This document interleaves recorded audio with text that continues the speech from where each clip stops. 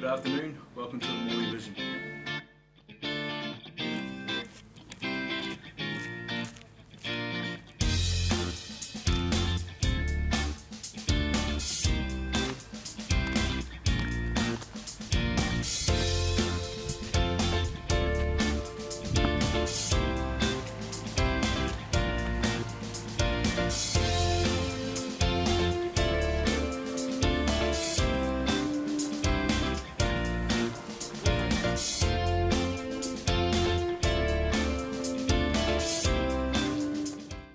Another Morley Vision story. I'm Rozhan, And I'm Ghadeer. and we are your hosts for today.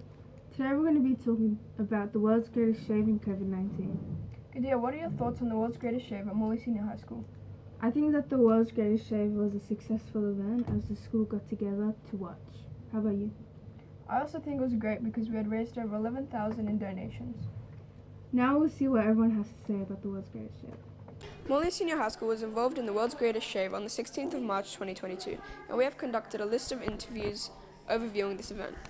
We are proud to say that Morley has donated over $11,400. Two teachers and six students had participated in getting their head shaved. Um, I think it's a good cause and it's a positive thing to do. I think it's a good cause to start raising, not start, but like raise money for people who are ill and have cancer and leukemia. Look, it's uh, one of the many uh, fabulous fundraising events that can occur not only at school but elsewhere, and uh, yeah, fundraising for a great cause. I think people shaving their heads is absolutely liberating. I think it makes them feel better and it makes them feel like they just got releases some good energy at their heads and helps them create and raise money and awareness. It was pretty scary, definitely, um, but also exciting. I didn't really have too many thoughts, I was just pretty nervous overall. I think the school did raise a good amount from what I've heard. Um, I think they raised a relatively good amount. Well, they yes, they have raised a good amount over the years, and this year was a, a superb effort because we had one student in particular who was uh, was very close to them, and they, they raised a huge amount with the support of uh, others in the school. So it was a really huge amount this year. So a fantastic job. Well, I saw the poster up and I just knew that I wanted to support people with blood cancer. I've had a buzz cut before, so I thought it wasn't it wasn't that much of a sacrifice. Well, my dad and my mum passed away of cancer. Um, well, my father recently passed away of cancer, and my mum passed away when I was a baby. No, I personally wouldn't because I love my hair, but I find people who do brave. Probably sometime in the future, maybe. Um, otherwise, not at the moment. I like my hair at the moment. I'll, ra- I'll donate money, but I wouldn't donate my hair just yet. Uh, my hair's thinning, so it's probably getting close to it by itself. But uh, I would perhaps consider it if I really wanted to support the cause wholeheartedly or even more. See, of course I would. Yeah, anything for a good cause, isn't it? A lot of relief. Yeah, felt really good around the school, walking around, just not not wanting to hide it, just showing everyone. Um, yeah, I felt really good after. I know that it's donated to a really good cause. Thanks for watching our video on the world's greatest shave. Many people had participated and it was a successful event as we raised thousands to donate. We hope the event occurs again next year. Thank you. Now that we've seen everyone's point of views on this story, we'll hand it over to our newsreader, Kalel.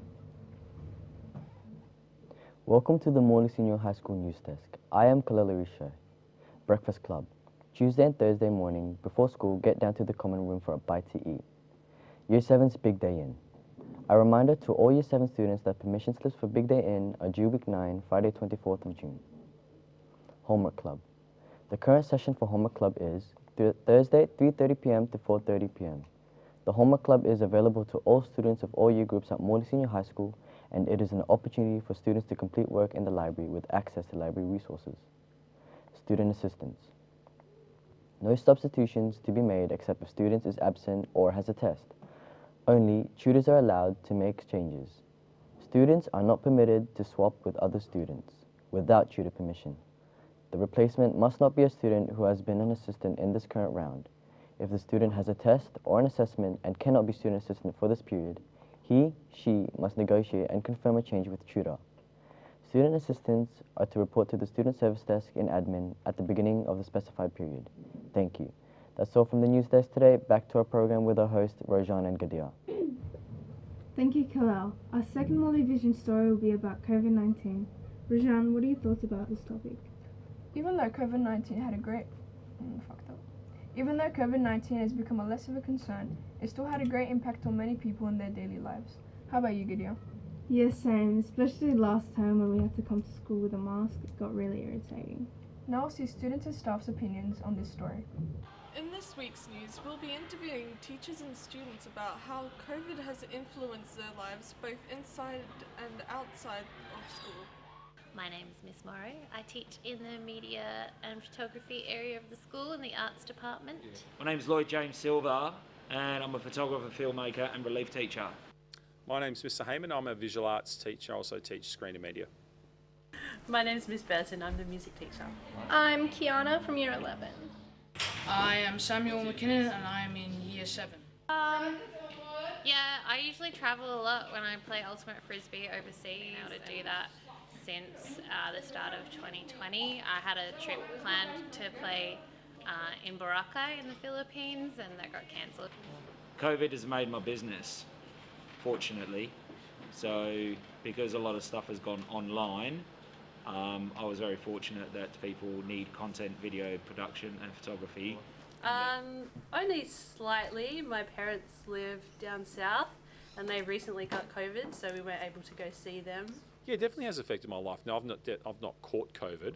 I'll say yet because I think it's almost an inevitability. Not in a big way, but I did have to quarantine when my brother got COVID. Um, I'm more careful about public spaces. I think they're doing as much as they can.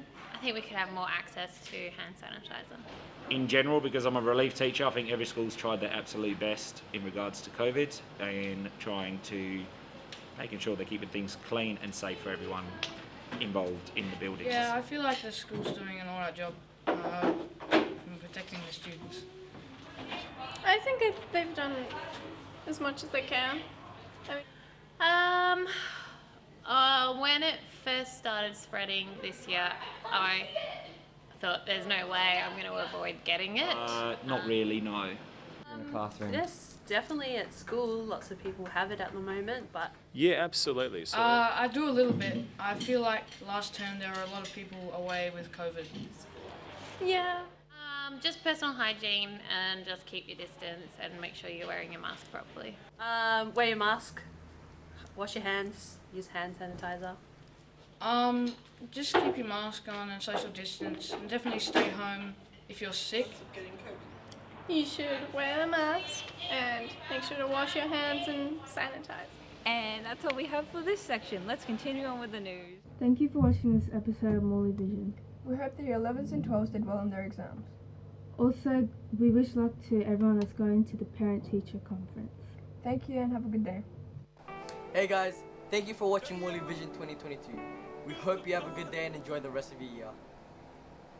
Ricky Rich. Hypnotize